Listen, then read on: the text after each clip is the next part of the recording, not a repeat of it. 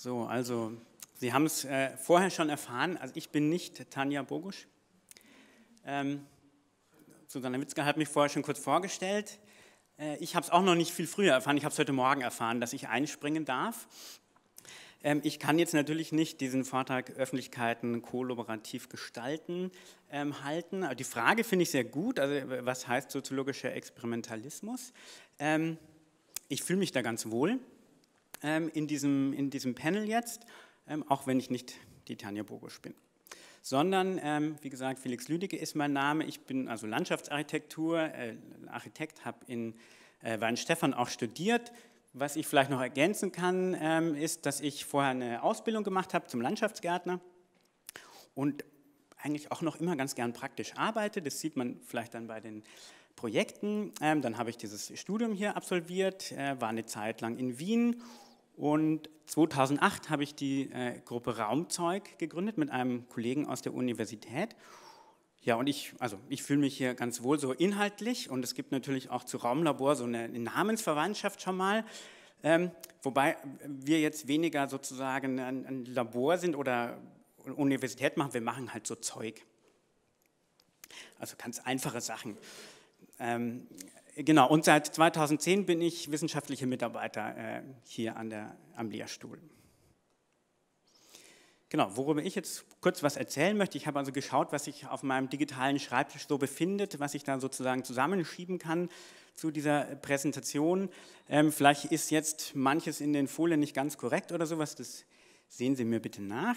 Ähm, ich möchte über Aktion, Intervention und Experiment sprechen also künstlerische Arbeitsformen ähm, im Entwurf und, und Aktivierung. Ja, und ah, das erste ähm, Beispiel, was ich nochmal zeigen wollte, kommt aus der Geschichte, nämlich von 1982. Äh, 1982 war, wer heute Morgen da war, das Jahr, wo hier an der TU das erste Mal der Heat Island-Effekt ähm, analysiert wurde und erforscht wurde ähm, mit dem sogenannten Biergartentagen.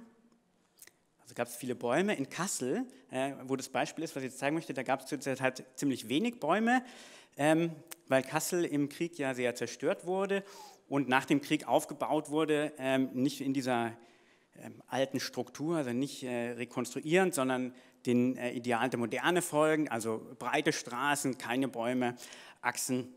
Und ähm, in den 80er Jahren mit der äh, Bewegung der, der Ökologie, ähm, kam daran ja so die erste Kritik auf. Und da möchte ich einen, einen, Künstler eben zitieren, Josef Beuys, der auf der Documenta 1982 dieses Projekt 7000 Eichen ähm, realisiert hat, was seinem erweiterten Kunstbegriff äh, der sozialen Plastik folgt und was ein Experiment ist, was äh, einfach auch eine unheimliche Provokation ist oder war. Er hat nämlich einfach ähm, vor dem Hauptausstellungsraum, ähm, Museum, dem Friedrichianum, auf einer Grünfläche 7000 Basaltstelen abkippen lassen und gesagt, diese Stelen sollen wegkommen, indem in Kassel 7000 Eichen gepflanzt werden. Also für jede Eiche, äh, ja, die gepflanzt wird, für jeden Baum, der gepflanzt wird, kommt einer dieser ähm, äh, Stelen weg, der wird neben den Baum gesetzt und ähm, so, so ist es mal. Ne? Also in gewisser Weise eine Erpressung auch. Aber dieses Experiment, diese äh, Dreistigkeit jetzt hier des, des Künstlers hat äh, funktioniert. Ähm, es hat sich ein Verein gegründet, der ähm, dafür gesorgt hat, diese Plätze zu suchen, wo denn die Bäume gepflanzt werden können. Ähm, die Finanzierung organisiert hat, dass die äh, Bäume bezahlt werden können und, die Pflanzung. Und ich glaube, ähm, ich glaube 86 oder sowas, also vier Jahre später, wurde dann äh, der letzte dieser 7000 äh, Bäume gepflanzt und die letzte Stele weggeräumt. Genau, jetzt ähm, möchte ich einsteigen mit, mit eigenem Beispiel. Laura, können wir die Vorhänge ein bisschen weiter zumachen, weil ich auch viele Bilder zeige, oder kannst du das schnell machen? Dann sieht man die ähm, Bilder besser. Ich habe es mal in zwei Teile gegliedert. Das erste ist jetzt Aktion, Aktion als Aktivierung und ähm, ist so ein bisschen die Frage, wie, inwiefern ist das jetzt gerade für uns in der Landschaftsarchitektur auch interessant. Ich finde es interessant, weil es zum Beispiel ähm, bei einem Problem weiterhelfen kann, das wir oft in der Planung haben diese Distanziertheit zwischen Entwerfer und Nutzer. Also als Entwerfer ähm, sitzt man eigentlich in seinem Büro und entwirft natürlich für den Nutzer später, ähm, aber in direkten Kontakt gibt es eigentlich nicht und wenn, dann sieht er oft so aus, ähm, dass es an irgendeiner Abendveranstaltung, wo bestimmte Leute Zeit haben, gibt es so eine Runde und ähm, da gibt es einen leeren Stuhl, fand ich interessant. Ähm, da müsste wahrscheinlich der Architekt sitzen, der Landschaftsarchitekt, ähm, und, und diskutieren. Aber ähm, meistens ist der Architekt, der Landschaftsarchitekt da noch gar nicht dabei. Der bekommt dann die Zusammenfassung dieses äh, Prozesses sozusagen überreicht und hat es in seinen in Wettbewerbsunterlagen dabei, in der Ausschreibung und liest das irgendwie so quer, markiert so ein paar Punkte und denkt sich, ja gut, ähm, bin ich froh, dass ich nicht dabei war. Ähm, und ähm, das wird dann nachher gebaut und danach kommt der große Aufschrei äh, der Bürger. So war das überhaupt nicht gemeint. Und noch größer ist der Aufschrei von denen, die da gar nicht dabei waren, weil das sind ja viel mehr, die da nicht dabei sind. Und jetzt möchte ich ein Beispiel vorstellen, was ganz stark mit Aktion gearbeitet hat im öffentlichen Raum, auch wenn es jetzt noch nicht um ein Bauprojekt ging. Ähm, das war 2015 ein Projekt, was ich realisiert habe bei der erwähnten ähm, während des äh, Stipendiums in Berlin. Also 2015 war ich äh, Stipendiat äh, an der Akademie der Künste in Berlin und habe zusammen mit der anderen Baukunststipendiatin Theresa Schütz dieses Projekt Present People ähm, realisiert. Öffentlicher Raum entsteht erst im Gebrauch. Und das knüpft natürlich so ein bisschen an bei Lefebvre mit dem Raum als soziale Plastik. Und unser Thema war ähm, das Hansaviertel in Berlin.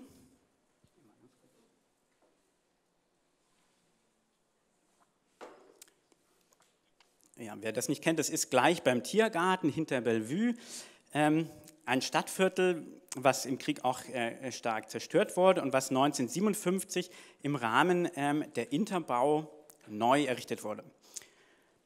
Und zwar im Sinne der modernen Stadt mit fließendem Übergang zur Landschaft, mit, mit hohen Häusern, die drin stehen, mit äh, modernen äh, Wohngrundrissen, mit den ähm, berühmtesten, begabtesten ähm, Architekten der westlichen Welt damals, war ja große Konkurrenz ähm, Ost und West. Und hier hat man sozusagen all die Ideale mal gebaut. Man hat die Stadt von morgen gebaut. Und das ist jetzt so ein Bereich, wie es heute aussieht, eigentlich ein ganz, ganz zentraler Bereich. Der U-Bahn-Eingang zur Haltestelle Hansaplatz, ähm, rechts die Stadtteilbibliothek. Also das Wissen wird für alle verfügbar in, in, der, in der Moderne. Der, der Übergang ist äh, stufenlos, also ohne große Treppenanlage, die man da erstmal hochhuldigen muss. Und ähm, Wasser ist auch äh, im, für alle da. Es gibt eine große Brunnenanlage davor. Und äh, ganz wichtig natürlich auch das Wasser in den Häusern. Das haben natürlich alles fließendes Wasser. Also alle Vorzüge der, der äh, modernen Stadt äh, wurden erlebbar. Und ähm, wir waren dann irgendwie eigentlich natürlich überrascht, weil dieser Raum äh, ist, ist, auch ähm, von, von Düttmann gebaut, äh, Architekt Düttmann, der auch die Akademie gebaut hat und eigentlich passt alles, das ist total gut. Und es ist ein total zentraler Ort, da geht es zur U-Bahn runter. Nur es ist irgendwie nie jemand da gewesen und hat diesen Raum benutzt und der Brunnen, der so als große offene Wasserfläche äh, gedacht ist, natürlich ist, ist leer und kaputt und es wird Müll hineingeschmissen. Und wir haben uns das doch irgendwie in unseren also Architekturskizzen, das war gestern auch schon mal das Thema, diese äh, auf Bleistiftstiften äh, wandelnde Dame oder ganz beliebt auch das Motiv des Kindes mit dem Luftballon. So muss doch das aussehen. Und ähm, darüber wollten wir ähm, arbeiten und diskutieren. Was macht diesen öffentlichen Raum aus? Und das haben wir in einer Aktion gemacht, dass wir mit den anderen Stipendiaten ähm, diesen Brunnen mal jetzt so als wie einen historischen Brunnen äh, interpretiert haben, aber einmal umgedreht. Also ich sage jetzt historischer Brunnen in der Mitte des, des Dorfes, der Stadt, als der ähm, öffentliche Raum schlechthin, weil dort jeder hin muss, weil dort Öffentlichkeit entsteht. Jeder muss zu diesem Brunnen hingehen und von dort das Wasser holen und wieder nach Hause gehen allein dadurch weiß ich, da treffe ich andere Leute, da kann ich Informationen austauschen, da kann ich Revolutionen anzetteln, da, das ist also öffentlicher Raum. Den braucht halt, den gibt es in der Moderne nicht mehr, weil ja das Wasser zu den Häusern kommt. Also haben wir ihn jetzt mal umgedreht und wir haben gesagt, okay, das Wasser kommt also nicht mehr zu den Leuten, wir bringen jetzt das Wasser von den Leuten zu den, zum Brunnen wieder. Also wir, wir beleben ihn einfach mal. Wir sind jetzt ganz aktionistisch und sind mit äh, dieser Palette einmal losgezogen und haben ähm, bei jedem Haus, bei jeder Tür geklingelt. 600 Eimer waren das. Und haben ähm, gefragt, ob sie uns nicht einen Eimer Wasser geben können. Und dann gar nicht mehr, wir haben gar nicht mehr gesagt. Es kam dann sozusagen entweder äh, halt die Frage, ja, wieso und warum oder, oder, oder einfach nur heiß oder kalt. Ähm, aber erstaunlich oft haben wir wirklich Wasser bekommen. Es wurde dann jeder Eimer sozusagen heruntergetragen und ähm, dort hineingestellt in den, in den Brunnen. Und so hat sich der über den Tag ähm, langsam gefüllt. Waren nicht alle Eimer voll, also wir haben, wenn wir nichts bekommen haben, haben wir halt den leeren Eimer reingestellt und haben im Nachhinein versucht, das so ein bisschen auszugleichen durch äh, Schütten von einem anderen in, dem, in den nächsten.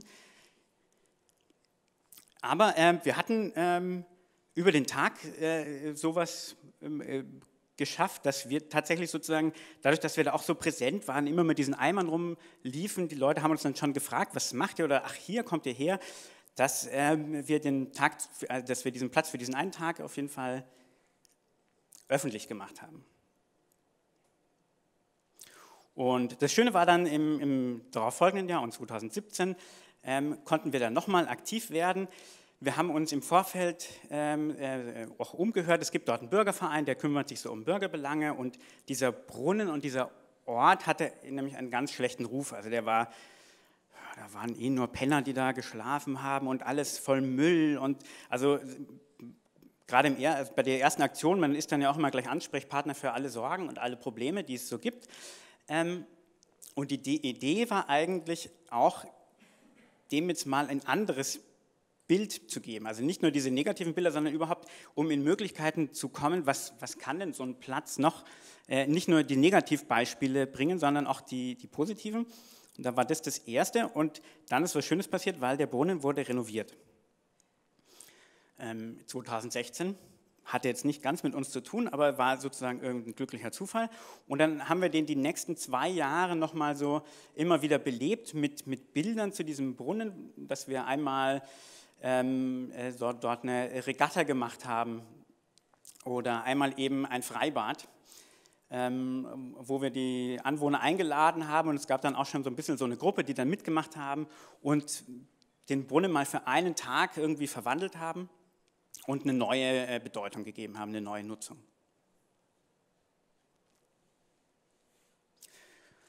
Genau, das ist jetzt eine Folie, die, die das, da erkläre ich immer mit Studierenden, wie denn diese Begriffe einzuordnen sind oder so Aktionen.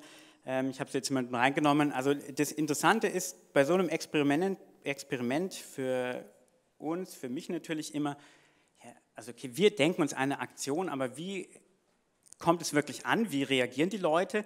und bekommen wir die dazu, wirklich irgendwie mitzumachen. Dann das Zweite, ähm, was ich vorstellen möchte, ist eine Installation als Experiment und da sozusagen auch nochmal dieses Problem angesprochen, hier sicher in einer ganz großen Dimension, die ähm, Langfristigkeit von Planung und Entscheidungsprozessen.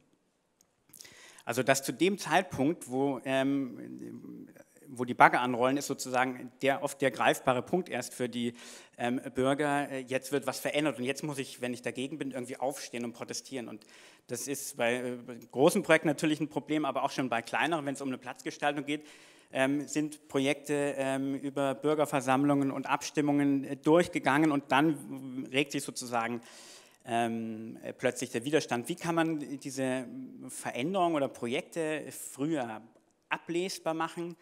ähm, erfahrbar machen und ähm, diskutieren. Und äh, möchte ich das Beispiel der Piazza Zenetti vorstellen, was, was jetzt gerade äh, in der Umsetzung ist. Und zwar ähm, bearbeite ich das zusammen mit Johann Christian Hannemann, auch vom Lehrstuhl hier, und den Architekten Almanay Fischer. Und ähm, das ist im, in, in München der gleich zeige ich mal ein paar Fotos. Ähm, der Zinetti-Platz im Schlachthofviertel, eigentlich städtebaulich ein ganz schöner Platz. ähm, von den Dimensionen und, und der Lage.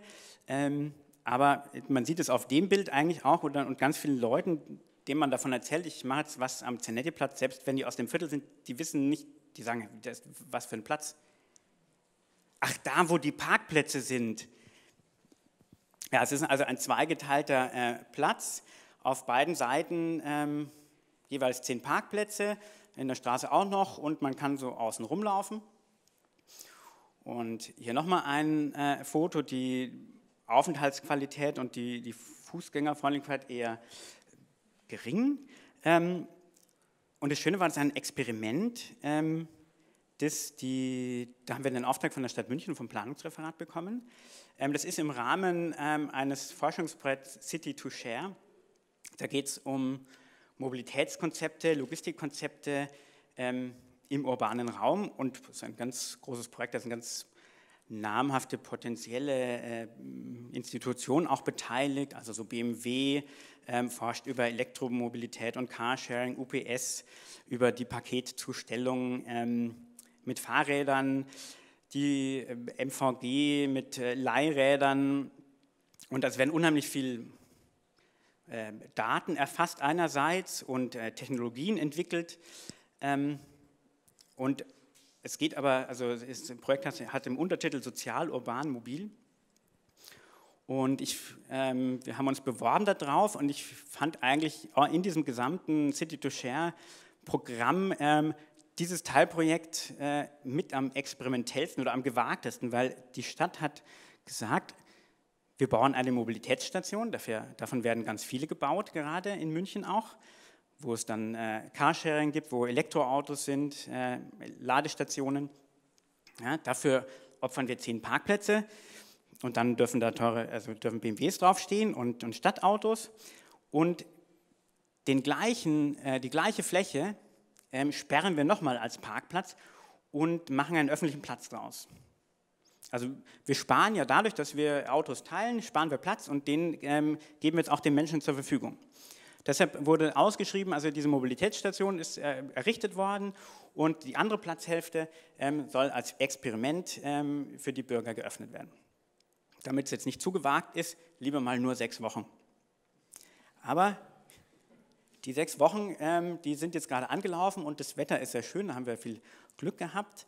Ähm, genau, unsere Idee war dann zu sagen, okay, wir wollen jetzt auch kein großes keine große Eventsache oder sowas, sondern das soll eigentlich ein, sowas wie eine Piazza sein, also wo man sich halt irgendwie trifft, wo man zufällig irgendwie ist, wo man mal kurz innehält, egal ob man jetzt dort eine äh, rauchen möchte oder ob man äh, ein Schwätzchen hält, wo man sich so über den Weg läuft, wo auch mal ein Markt sein kann, aber im Prinzip ähm, hat der als Treffpunkt schon Berechtigung genug, dieser Platz. Und wir haben also verschiedene Maßnahmen äh, vorgeschlagen und jetzt durchgeführt. Das eine war, Aufhübschen der Bestandselemente. Also man durfte natürlich nicht viel machen, weil es temporär ist, dieses Experiment, aber ähm, die Hecken zum Beispiel, die so äh, drumherum waren, die ganz unbeliebt sind bei den Nachbarn, ähm, den haben wir uns mal angenommen und haben die mit einem so ein bisschen spezielleren Schnitt versehen und gepflegt. Ähm, dann haben wir ein, ein markantes Stadtmöbel eingefügt, das ist was sozusagen hier diese pinke äh, Konstruktion ist, die auch bewusst beide Sachen verbinden sollte, die Mobilitätsplätze und diesen öffentlichen Raum. Ähm, wir konnten in einem Bereich äh, auch längerfristig was pflanzen. Das haben wir zusammen mit Green City gemacht. Silvia González hat das gestern schon kurz vorgestellt. Ähm, und dann haben wir sozusagen ein bisschen, bisschen aufgeräumt, noch sehr, sehr Detailarbeit, so, so Zeug halt ähm, organisiert. Und ganz wichtig war uns, dass wir das, die Frage, wie können wir das schaffen, dass die Nutzung und Aneignung gefördert wird. Also dass gar nicht das wir alles machen, sondern dass die Bewohner das machen. Und ähm, um das möglichst hinzubekommen, haben wir also versucht, schon diesen Bauprozess so als Mitmachbaustelle zu gestalten. Ähm, es gab ja also verschiedene Veranstaltungen, äh, angefangen jetzt vom Feierabendtisch, der jeden Abend war, wo man hingehen konnte, zu so Aktionen wie dem Streichkonzert, wo man dann das Möbel mit angemalt hat. Diese dieses Beetpflanzen ähm, zusammen mit Green City oder das Baustellenfinale, wo ähm, der offene Bücherschrank eingerichtet wurde und der Platz dekoriert wurde. Also dieses Möbel, das nochmal, ja genau hier, ähm, sieht man das jetzt fertig, ähm, ist eigentlich sozusagen einerseits ein bisschen als Lärmschutz gedacht, das ist höher, das ist eine Wand zu dieser befahreneren Straße und andererseits so als äh, Sitzfläche ähm, oder eben auch so kleine Bühne und ähm, sollte immer so ein bisschen Bezug aufnehmen. Hier, also das Schlachthofviertel, das ist natürlich rund um Metzger, deshalb gibt es hier die Leberkäse-Semmelbank, wo man sich einfach mal hinsetzen kann, mittags eben. Links hinten ist so ein offener Bücherschrank, ähm, wo alle ganz, ganz fasziniert sind und hinschauen und ähm, es nehmen eigentlich wenig Leute Bücher mit, aber jeder freut sich, dass er da Bücher reinbringen kann. Äh, was mehr mitgenommen wird, das sind Pfandflaschen, das ist hier dieses Kästchen äh, daneben. Kann man also, wenn man sich so fühlt, dass man irgendwie seine Pfandflasche nicht braucht, kann man die da reinstellen und wenn man sich so fühlt, dass man das irgendwie gebrauchen könnte, das Pfand, dann ähm, kann man das rausnehmen. Und genau, diese Infotafel, wo irgendwie draufgeschrieben werden kann, was man an dem Platz machen möchte, so Aktionen oder kleine, ja. Genau, so sollte das funktionieren und die Mitte eben bewusst freigehalten. Ja, und dann ähm, gab es eine, eine große Eröffnungswoche, wo auch Programm organisiert war kam dann irgendwie ein Friseur und hat da drüben, äh, hat da oben Haare geschnitten. Ähm, wenn man ihm was vorliest, hat er irgendwie so als Aktion Book and Look, also du musst ihm was vorlesen, dann schneidet er dir die Haare. Hat er, das hat er gleich den Bücherschrank eingeweiht dabei. Dann äh, haben die Yoga gemacht dort morgens um ähm, halb zehn. Da hat gleich der, der von dem Pizzastand hat mir gleich ein Foto geschickt, weil er gesagt hat, also, ähm, guck mal, was hier los ist. Also so eine Reihe organisierter Aktionen. Ähm, genau, was aber wirklich äh, mich jetzt noch mehr freut, dass das ähm, geklappt hat. Das hat sicher mit dem guten Wetter zu tun, aber es war ein ganz guter Start, dass es sich tatsächlich Anwohner gefunden haben, die jetzt so Teile davon irgendwie fortführen. Das ist so ein, das ist zum Beispiel jeden Mittwoch ist jetzt Spieltreff, wo dann eine Kiste noch so umgebaut wurde, dass die dort ihre Sachen einlagern können, wie Kreiden und so. Und ähm, selbst wenn das Wetter nicht so schön ist, sind die da. Oder die von diesem Pizzaservice, ähm, die sich bereit erklärt haben für die Pizzakartons, die äh, sofort immer den Müll verstopfen, wenn da zwei drinnen sind. Das, die haben so eine Box bekommen, die sie jetzt selber ausleeren, wo man die Pizzakartons reinwerfen kann. Und ähm, ah ja, genau. Oh, ja. Und bis hin zu dem, das, genau, das wollte ich noch erzählen, ein, ein Künstler, der dort, äh, dort auch wohnt, der jetzt angeboten hat, dass er eine Ausstellung dort aufbaut über den äh, Pferdemarkt, der dort jeden Samstag früher war. Das wird jetzt am, am Wochenende eröffnet. Und also das hat sehr gut geklappt, dass die Leute äh, so mitgemacht haben. Und ähm, genau, jetzt durch den Pferdemarkt, die, die Bäume von Green City, die man hier auch gesehen hat, die müssen nämlich jetzt, die müssen eh sozusagen weg, die werden eingepflanzt.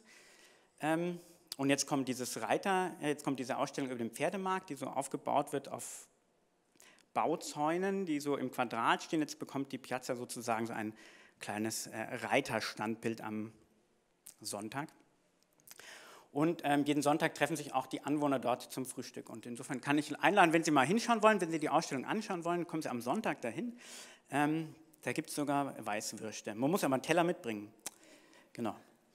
Und ja, letzte Folie jetzt noch, also irgendwie das, das Plädoyer, was, was, was, bringt dieses Experiment? Dieses Experiment kann eben, dieses, diese Intervention kann, wie intervenieren definiert ist, dieses Dazwischenkommen, Erscheinen, Einschreiten, Einmischen äh, bewirken, nämlich dass ich eine bewusste, eine, eine eingefahrene Sehweise wirklich aufbrechen kann durch sowas und ähm, das war das Erste, also das Erfahrbar machen, was Frau Merck gestern ja auch so ähm, als Thema hatte. Das Zweite ähm, ist es, dass es ein Teil sein kann eben von einer prozesshaften Planung.